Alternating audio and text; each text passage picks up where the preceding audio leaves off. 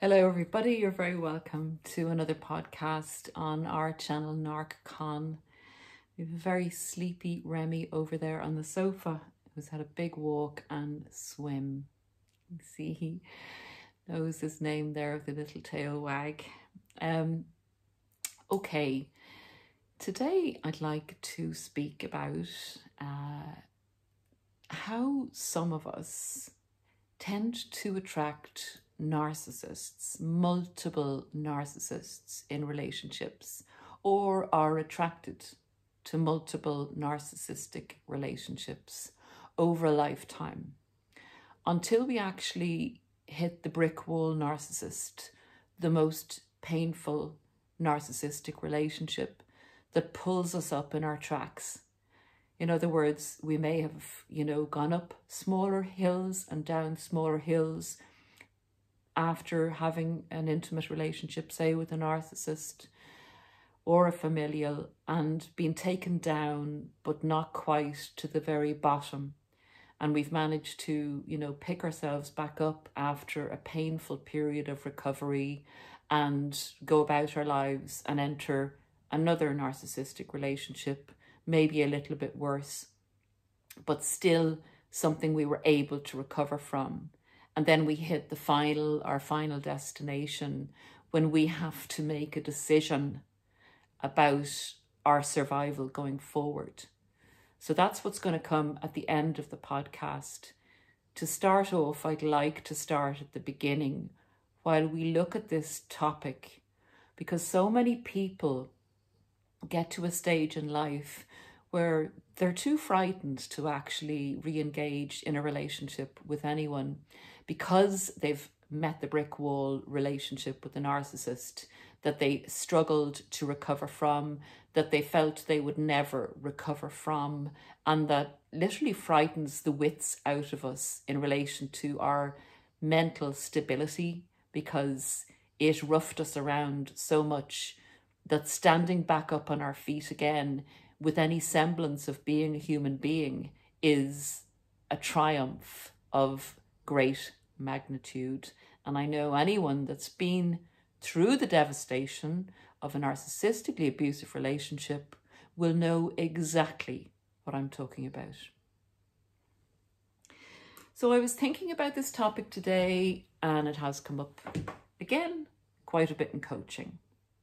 And anyone that does or is interested in coaching before I go on, people say that they don't know how to find me. It's an email address in relation to inquiries would be narcscon at gmail.com. That's spelled N-A-R-C-S, narcscon, C-O-N, all one word, at gmail.com. So we land on Earth into a setting, and I have talked about this before. We land into a family, familial setting, or we land wherever we land and we're faced with the issues of that setting. So some of us are lucky enough to land in a relatively normal, as normal as human beings are, family, where there's not a huge amount of psychopathy, there's not a narcissist maybe, and we have a fairly regular upbringing. We have a fairly regular schooling, and everything is not in extremis. So uh, we have a moderate kind of set of values that are in certain normalistic or normal perimeters. And people who land on Earth in that setting generally then have a developed sense of normalcy, normalcy, what is normal, what's not normal. And to them, when they come across a narcissistic individual, even a covert narcissist, they can sense very, very strongly that something is way off with this person. And their behavior is meted out accordingly. So they keep that person at quite a distance.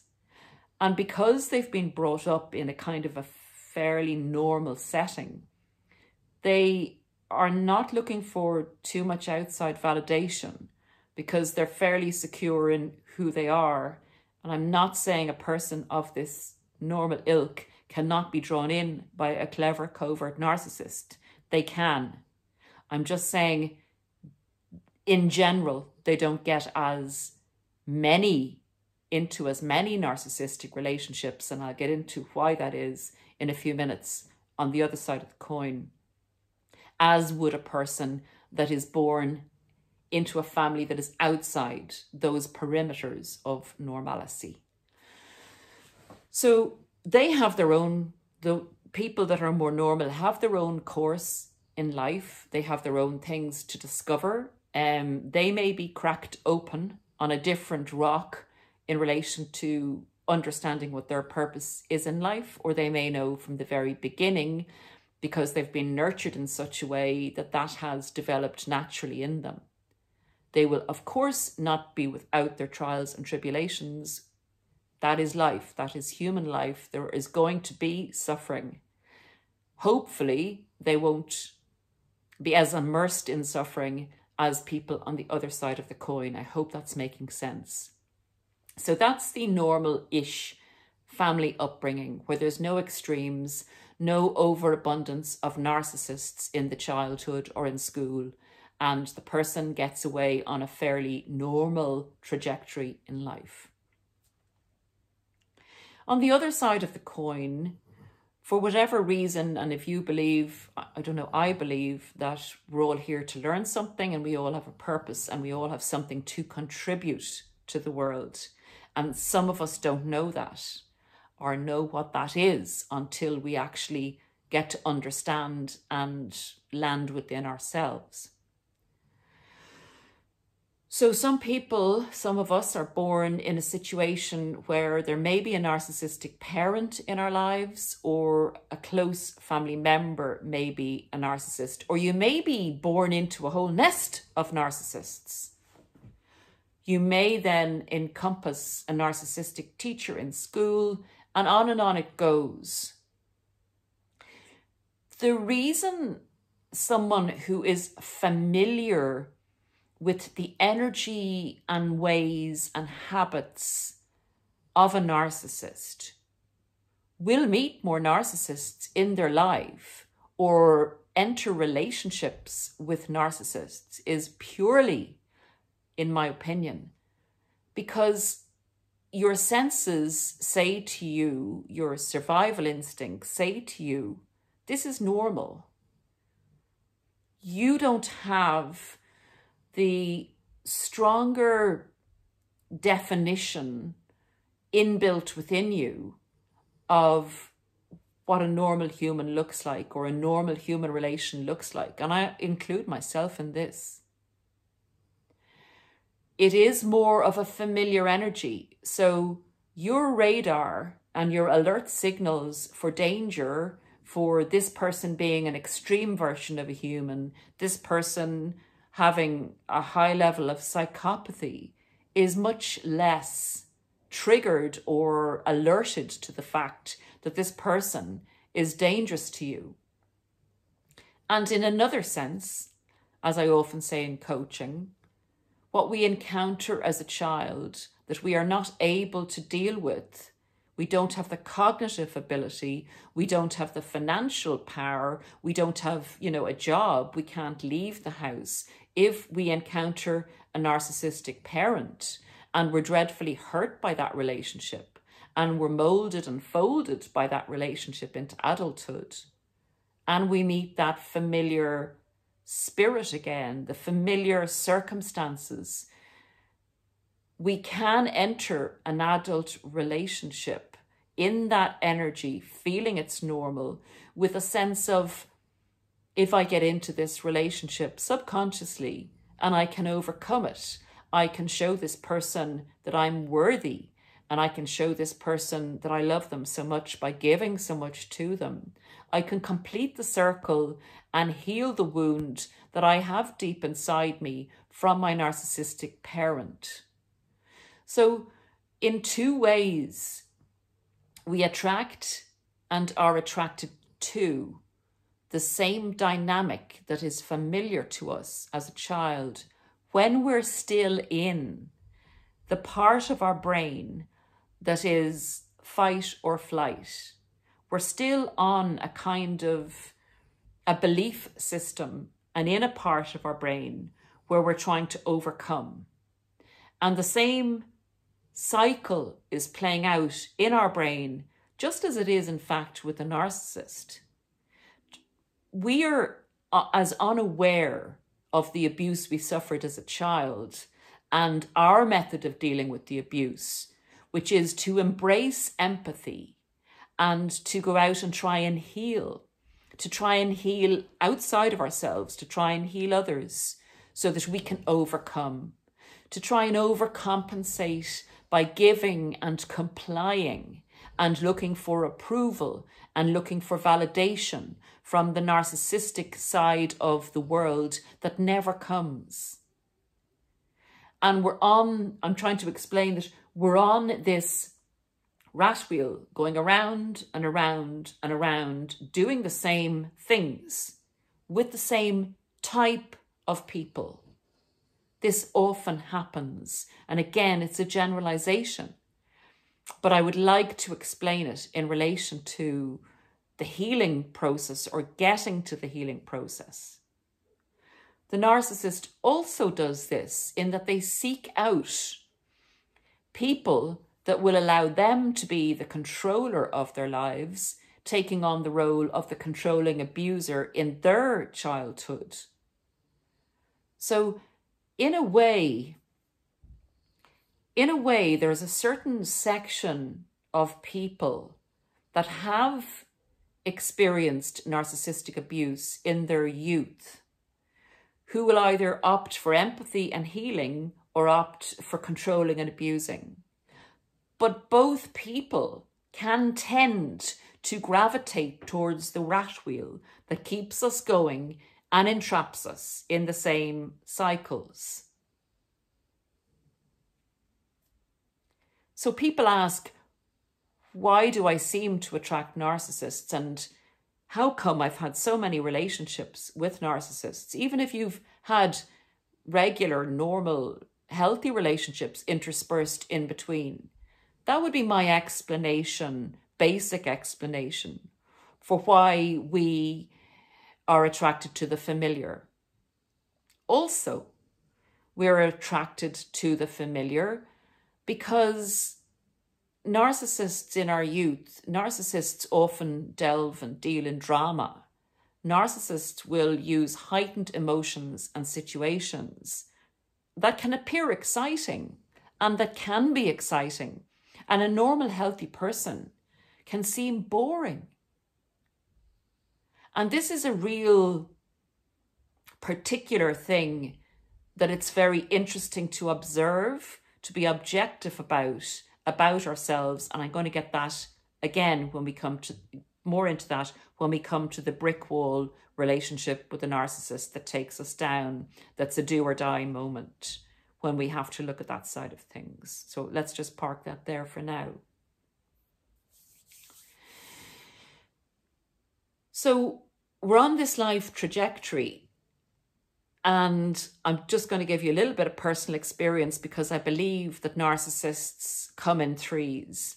But over a lifetime, so we find ourselves in a general sense attracting narcissists, having friends that are narcissists, um, finding them everywhere in our life and they're part and parcel of the people that we have in our lives, even if we have healthy people in our lives also.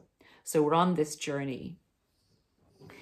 Then we get to the intense relationships, the intimate relationships. And as I said in the beginning of the podcast, we go from one relationship to the next, maybe interspersed with healthy, intimate relationships, but we're able to survive what we consider heartbreak, say, when, you know, we've been with a narcissist and we think it's normal the way they behave. We think the drama is normal and it's excited us enough to get us physically, chemically, spiritually attracted to this person. So we think it's all normal because that's what we've seen as normal in our lives. We think what they're telling us about ourselves is normal because somewhere in our lives early on, we were told that we weren't good enough and that, you know, we were crap at this, that we were crazy and that we needed to sort ourselves out. So if we're still in that trauma rat wheel where we haven't taken the time out. We haven't yet hit the brick wall. We're continuing in this pattern of behavior, and the narcissists are codependently in their pattern of behavior and seek us out. And we seek them out unwittingly to try and overcome. And they're trying to totally control. And it's never going to work. It's like two wheels working in tandem and just in a total cycle that keeps going on and on and on and on and on and on, and no one gets off the wheel, and that's the life experience. Unless you hit the brick wall, unless the brakes are put on the wheel and you jump off it. That's what I would like to get to now. We land on Earth and we get onto a wheel if we're unlucky enough to land in a position where there's a lot of narcissism going on and we're getting very confused messages programmed into our brain about one, what love looks like, and we take on the version of the love relationships that we see in our childhood. That goes into the brain, that's normal. That's a normal love relationship. Mm-hmm. So we're not alerted to any danger when we come across that relationship later on in life. The second thing that's programmed into our brain is the version of ourselves that is fed back to us, telling us who we are. That version of the brain is ticking over and is going around in cycles, in wheels as we progress through life. And we are imprisoned by that. We're imprisoned by those messages and that programming that's in our brain that narcissists are normal, that abuse is normal, even if it's been quite mild psychological abuse, but we've been in the energy space of a narcissist.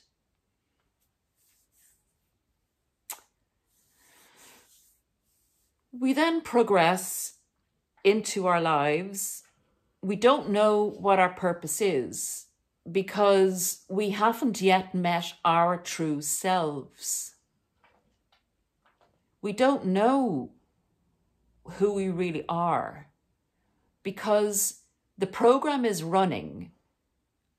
We're with narcissists, we're getting abused, and we're kind of stuck in the version of ourselves that has been fed back to us from quite a negative energy source. And that's been repeated. Because we've been with more narcissists, the grooves in our brain and our neural pathways are really getting deep as to us being stuck, believing the false narrative of a narcissist version of us because the narcissist version of us has to be bad because therefore the narcissist is good and the narcissist wins and the narcissist is in control and their wheel is running a lot faster than ours. But they're still on their wheel. They're never going to get off the wheel. They've really gotten stuck. Whatever chance we have of getting off our wheel of behavior, cycles, and patterns that go on in the negative sense about ourselves, where we don't fulfill our potential and where we don't get to know ourselves. Unfortunately, a narcissist, a true narcissist, is who they are.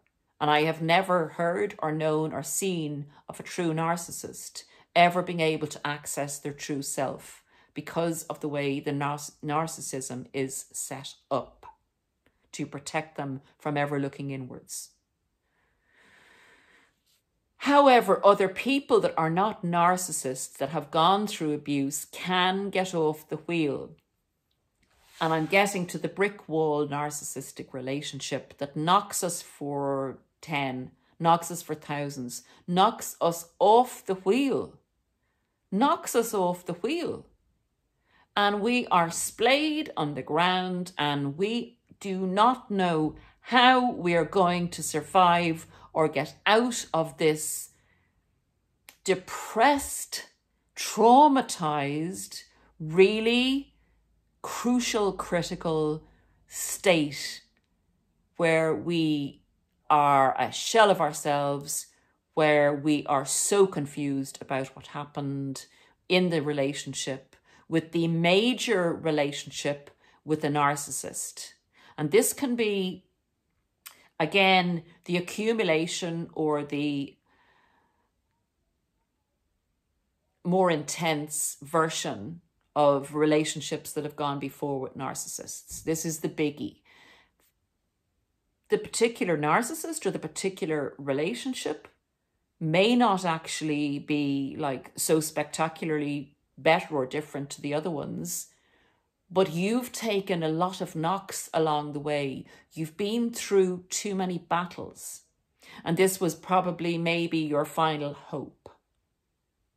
And this relationship also came crashing down, and you came crashing down with it. And this time you couldn't get back up off your feet. You're stuck. You're left not wanting to go out. You're left in total rumination. You're left at a point where, in order to survive, you have to change. You have to drastically reevaluate the whole of your life and the whole of your reason for being. You have to look at who you are and why you are. And you have to look at what people told you you are, and you have to challenge that. And you have to go on a whole new journey. And I guess this brick wall, this final relationship with this final narcissist, has been a kind of an accumulation of you rising. And the reason the relationships with the narcissists don't work out is because incrementally you have been getting healthier and more aware as time has gone on and you have been learning, even though it doesn't feel like you've been learning. And you've put up more boundaries with the narcissist, with each incremental narcissist. And as the boundaries go up, the rejections come hard and fast and more crueler because the narcissist control is threatened. So if it's, say, your third intimate relationship with the narcissist and this one has brick walled you, this one has knocked you off the wheel, it's because you were healthier and it's because the narcissist felt very threatened by you. But you still don't know that. And that's the that's the wonder and that's the the miracle that's being kept hidden as you are flattened against the brick wall and lying on the floor. You believe it's a punishment for the truth of you being maybe a crap person, but somewhere inside you know that's not true. Somewhere inside you know that's not true. But it's only after a certain period of time when you get the information and when you put two and two together and it actually makes four instead of 10, and you start to question and you start to say, I don't like the version of me that was fed back by these people. I don't believe it's true. I came from somewhere else where I did know myself. And that's why I always say I believe that we are all sent here for a purpose, that we forget where we came from, but we know who we are. And it's like our eyes are covered by a veil where we can't remember who we are until we meet the brick wall.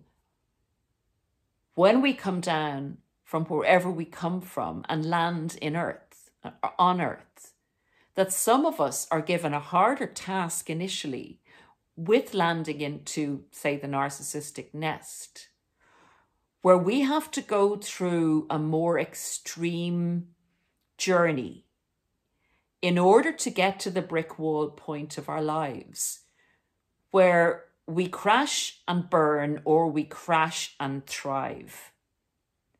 So if we survive the crash And hopefully, with this information going out there to people, and please share it, uh, like and subscribe, obviously, would be fantastic, but please share it with someone that might need it.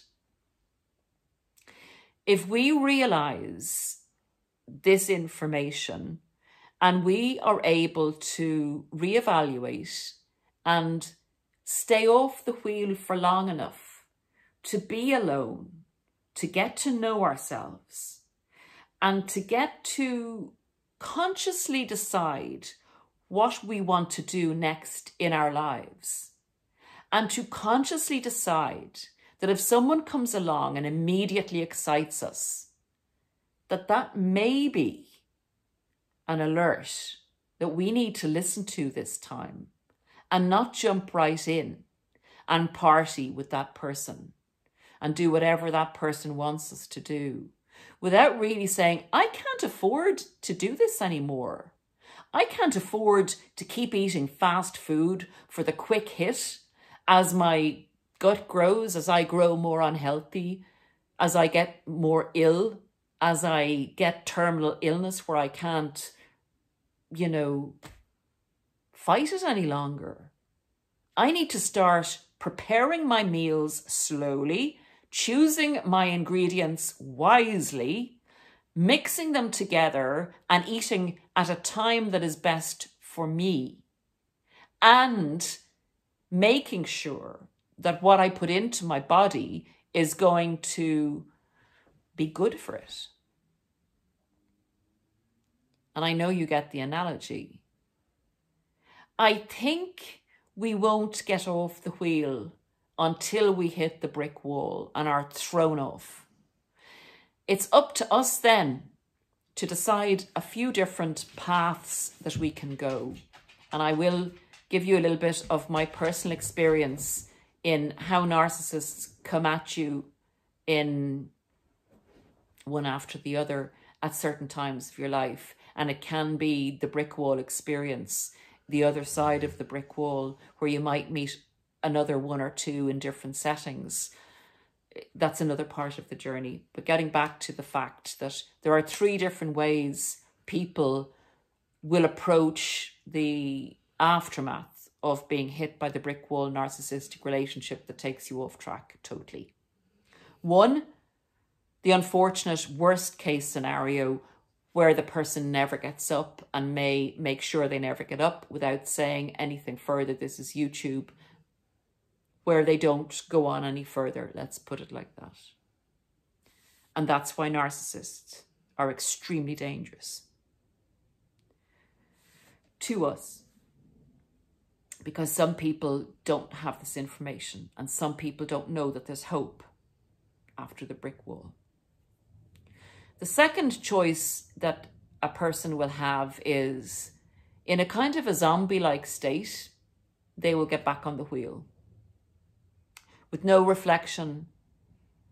They may be very out of it, disassociated, not caring, but they'll get attracted to the wheel again, attracted to another narcissist and get back up, and that one will finish them off.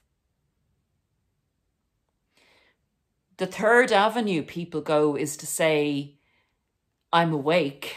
I am awake. I am not going through this again. Never. I will never go through this again. They reevaluate all of the relationships in their life. They identify narcissists that were in their life. They look at all the negative input and they take from that anything they think is relevant.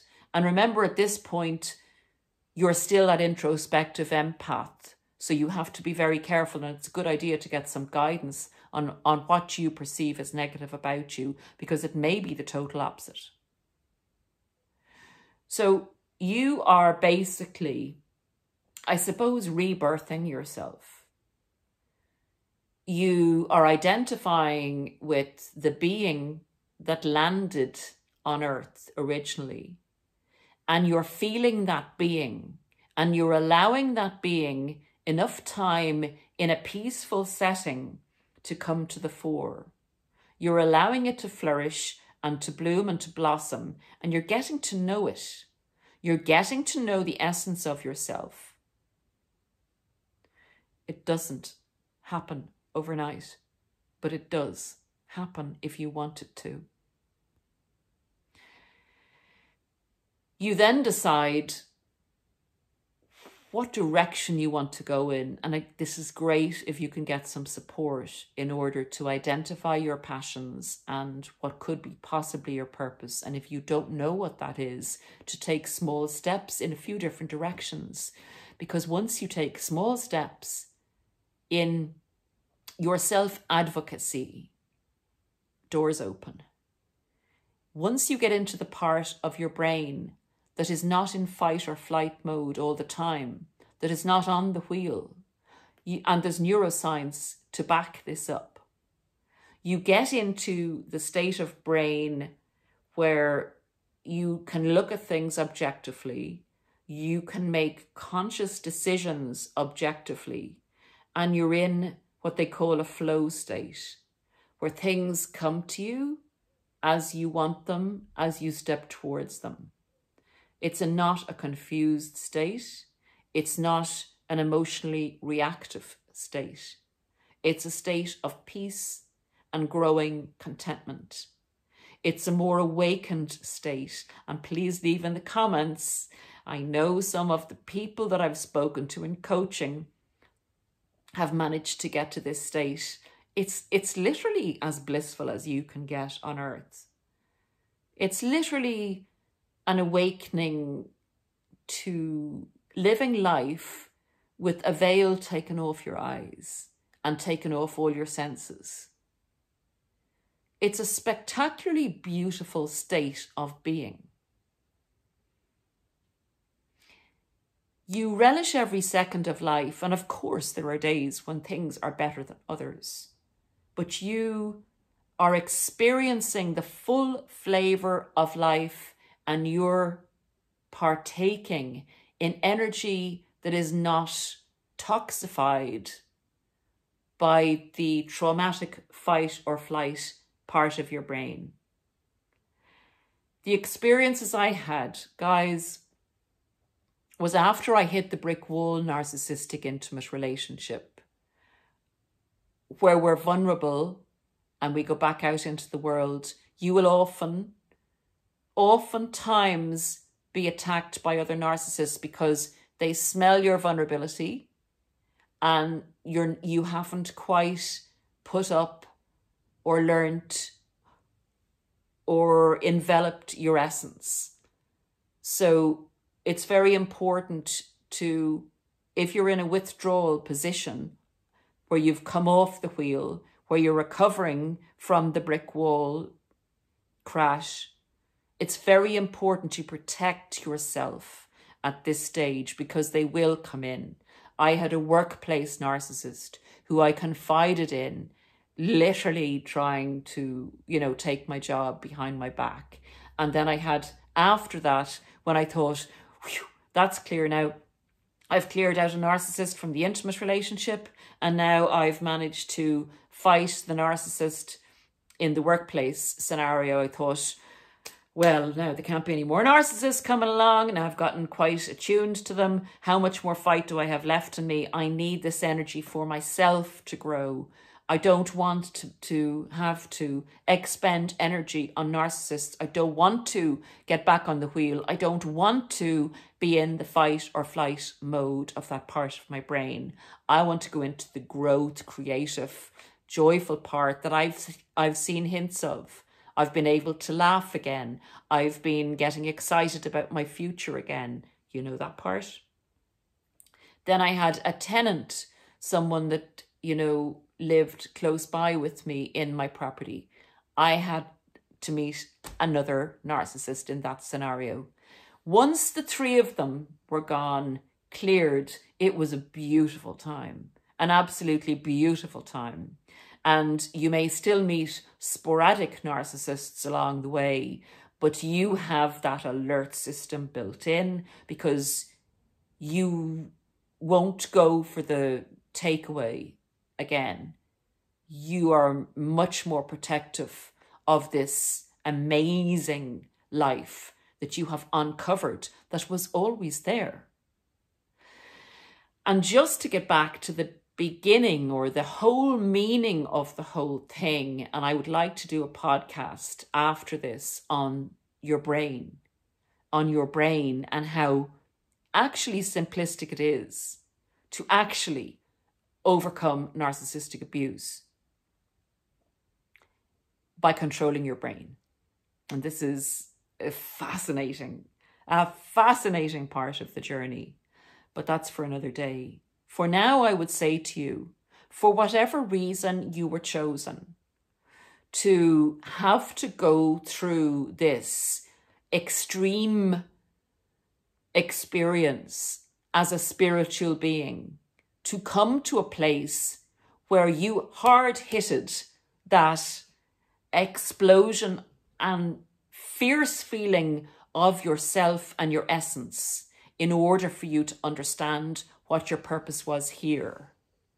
I believe that you will be so compensated in life going forward, living in this new way, than you could ever believe possible for what you went through, through your own endeavors going forward, and what you will and are able to contribute to the world because you have been pushed to the extreme where you have to say, I love myself. I'm enough. I'm brilliant. I'm great. I'm okay.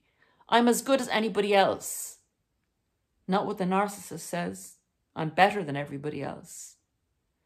I'm as good and I can feel my fellow human who is also good, who's okay, who we can share love with, laughs with, friendship with, sorrow with, sadness with, productiveness with, development with, interest with.